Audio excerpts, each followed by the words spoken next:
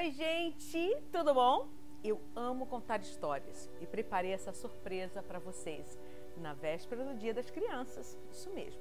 Tem um autor que eu admiro muito, que se chama Max Lucado. E ele contou uma história linda, cujo título é Você é Especial. E eu vou contar essa história para você. Eu dediquei esse livro para Isabela. Vamos lá? Bom, vou contar a história de um grupo de pessoas chamada chulingos. Esses são os chulingos. Os chulingos eram uma gentinha pequena, feita de madeira. Toda essa gente de madeira tinha sido feita por um carpinteiro chamado Eli. A oficina onde Eli trabalhava ficava no alto do morro, de onde se avistava a aldeia dos chulingos. Cada chulingo era diferente do outro. Uns tinham narizes bem grandes, outros tinham olhos enormes. Alguns eram altos e outros bem baixinhos. Uns usavam chapéus, outros usavam casacos. Todos eles, porém, tinham sido feitos pelo mesmo carpinteiro e moravam todos na mesma aldeia. Este, estes são os chulingos, lá. Povinho diferente esse, viu? E o dia inteiro, todos os dias, os chulingos só faziam uma coisa: colavam adesivos uns nos outros. Cada chulingo tinha uma caixinha com adesivos dourados em forma de estrela e uma caixinha com adesivos cinzentos em forma de bolas. Em toda a aldeia, indo e vindo pelas ruas, os chulingos passavam dia após dia colando estrelas e bolas uns nos outros. Os mais bonitos, feitos de madeira lisa e tinta brilhante, sempre ganhavam estrelas. Mas se a madeira era áspera ou se a tinta descascava, os chulingos colavam bolinhas cinzentas. Olha aqui. Uns para os bonitões, fortes, talentosos, estrelas. Para os outros mais comuns, eles colavam bolinhas cinzentas. Os chulingos que tinham algum talento especial também ganhavam estrelas. Alguns conseguiam levantar pedaços de madeira bem pesados acima da sua cabeça. Hum, ah, e conseguiam estrelas mais estrelas. Uns conseguiam pular bem alto por cima das caixas de madeira bem grandes. Outros conseguiam falar palavras compridas e difíceis ou cantar belas canções. Todos colavam estrelas nesses chulingos. Alguns chulingos viviam carregados de estrelas. Ai, era tanto brilho, ai, tanto glamour, ai, brilhavam, brilhavam tanto. E cada vez que recebiam uma estrela, ficavam muito felizes, muito felizes e queriam receber mais, porque nunca era o suficiente. Queriam mais estrelas e mais estrelas. Alguns chulingos, porém, não sabiam fazer muita coisa. Eles ganhavam bolinhas cinzentas por causa disso. E agora eu vou apresentar para vocês um dos chulingos que não era tão popular, tão famoso assim. Este rapazinho aqui se chama Marcinelo. Ele era um desses chulingos que tentava pular bem alto como os outros, mas sempre caía.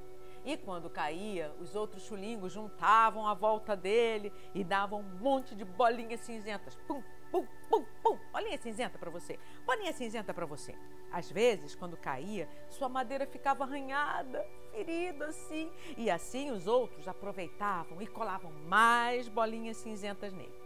Aí, quando ele tentava explicar por que, que ele tinha caído, dizia alguma coisa do jeito errado e os chulingos colavam mais bolinhas cinzentas nele. Depois de algum tempo, Marcinelo tinha tantas, mas tantas bolinhas cinzentas que nem queria mais sair de casa. Tinha medo de fazer alguma bobagem, como esquecer o chapéu, pisar numa poça d'água, porque os chulinhos iriam colar nele mais uma bolinha.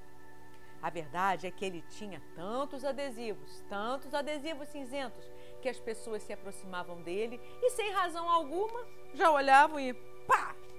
Bolinha cinzenta. Olha só. Ele merece ficar coberto de bolinhas cinzentas.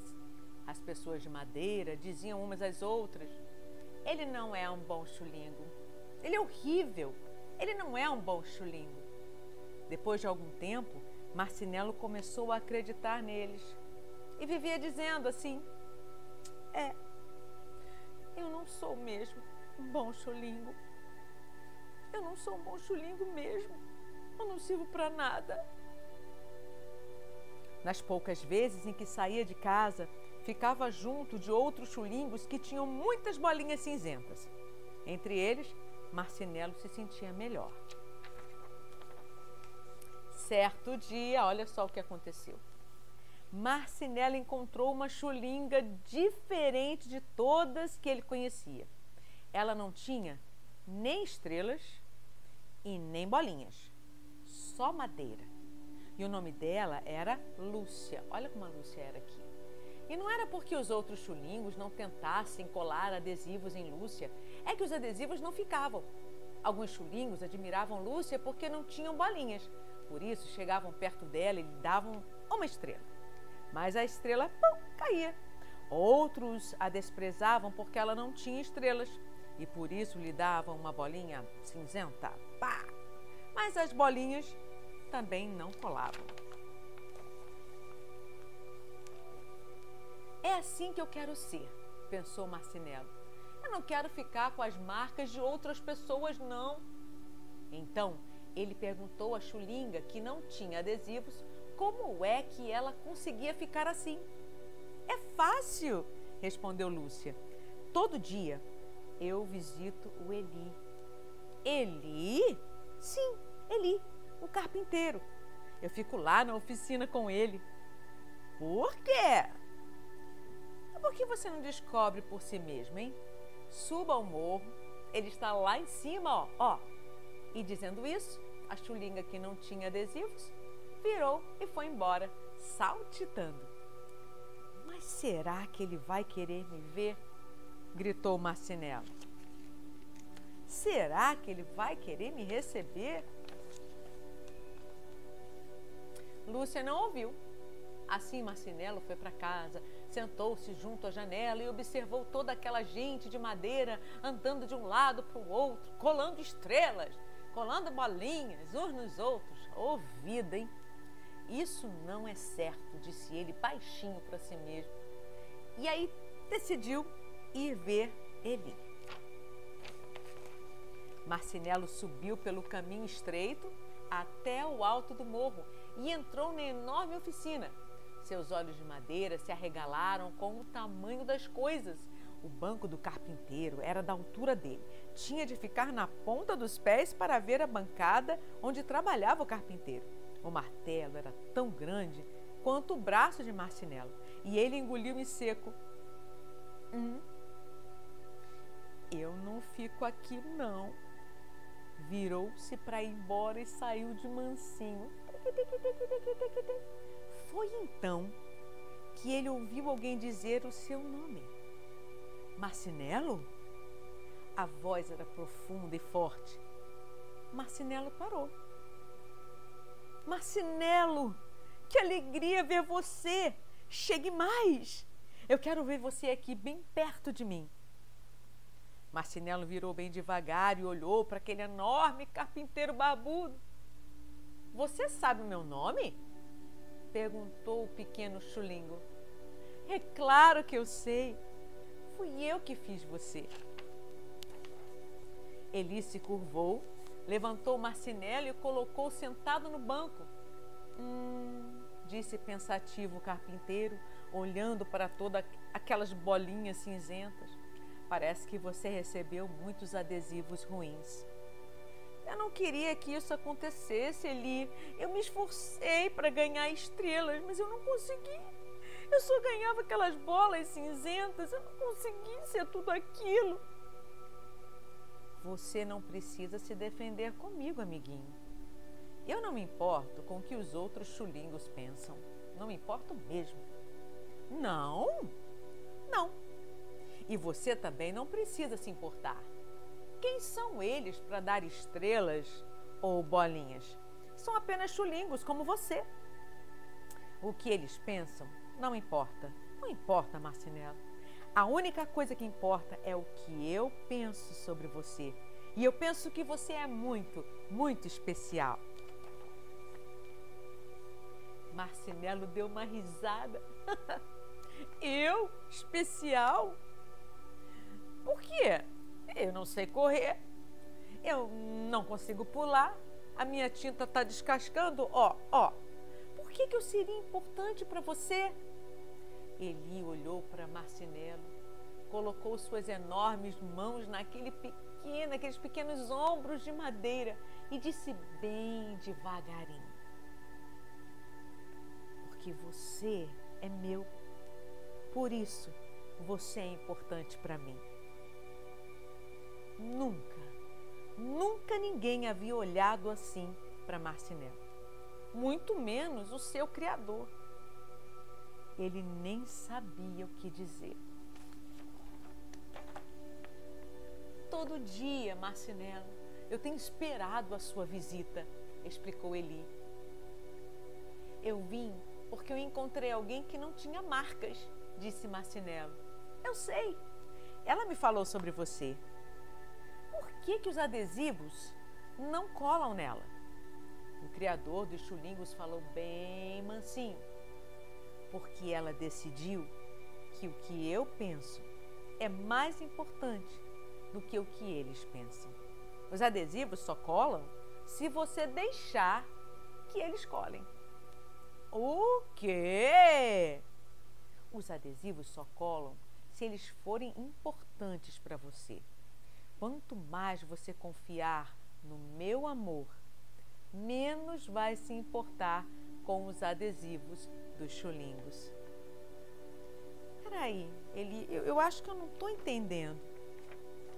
Ele sorriu e disse: Você vai entender, mas levará algum tempo. Você tem muitos adesivos. Por enquanto, basta vir me visitar todo dia e eu lhe direi como você é importante para mim. Eli ergueu o marcinelo do banco e o colocou no chão. Lembre-se, disse Eli, enquanto o chulinho ainda saía pela, pela porta. Você é especial, porque eu o fiz e eu não cometo erros.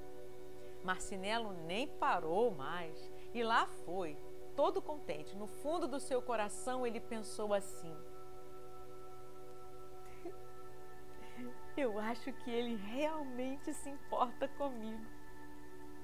E quando ele pensou assim, sabe o que aconteceu, gente? Uma bolinha cinzenta caiu no chão.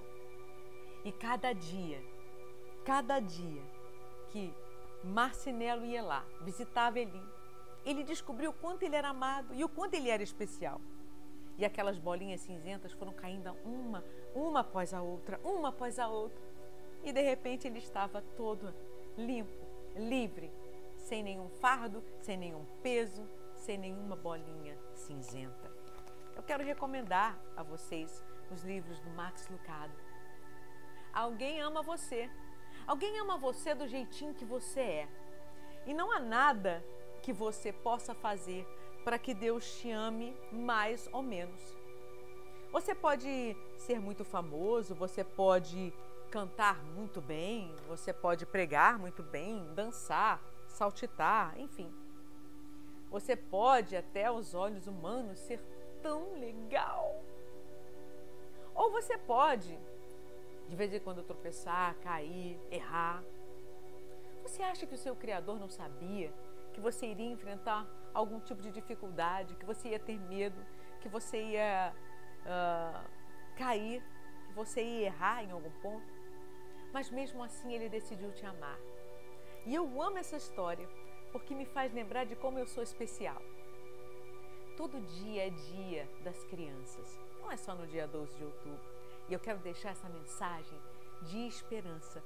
Você tem um Criador que te fez de uma forma tremenda na barriguinha da sua mamãe. Você é especial. Você é amado. Não há nada que eu possa fazer de bom ou de ruim, para afastar o amor de Deus de mim, porque Ele já decidiu me amar. E eu quero convidar você a deixar as bolinhas cinzentas, as marcas que algumas pessoas deixaram sobre você, caírem no chão, diante da imensidão do amor de Jesus, do amor do Criador sobre a sua vida. Vamos orar agora? Senhor, eu quero lhe agradecer por cada criança que ouviu essa história tão linda do nosso querido Max Lucado. Senhor, retire da gente todas as marcas de pessoas que mancharam, que entristeceram, que profetizaram palavras de maldição, dizendo que eu não poderia, que eu não consigo, que eu não sirvo, que eu não presto. Porque eu acredito na tua palavra, Senhor, de que eu posso, eu sou tudo aquilo que o Senhor diz que eu sou. E eu posso todas as coisas naquele que me fortalece. Senhor, que eu não escute as vozes deste mundo mal, mas que eu possa ouvir a tua voz e saber, porque ninguém me conhece tão bem quanto o Senhor. Eu sei que ainda não cheguei onde eu posso chegar, mas com a tua ajuda, Senhor, eu chego lá. Senhor, abençoe todas as crianças e todas as famílias. Obrigada por essa oportunidade, Senhor, de falar do teu amor. Em nome de Jesus. Amém. Um beijo especial da Cristina Mel. Deus abençoe você.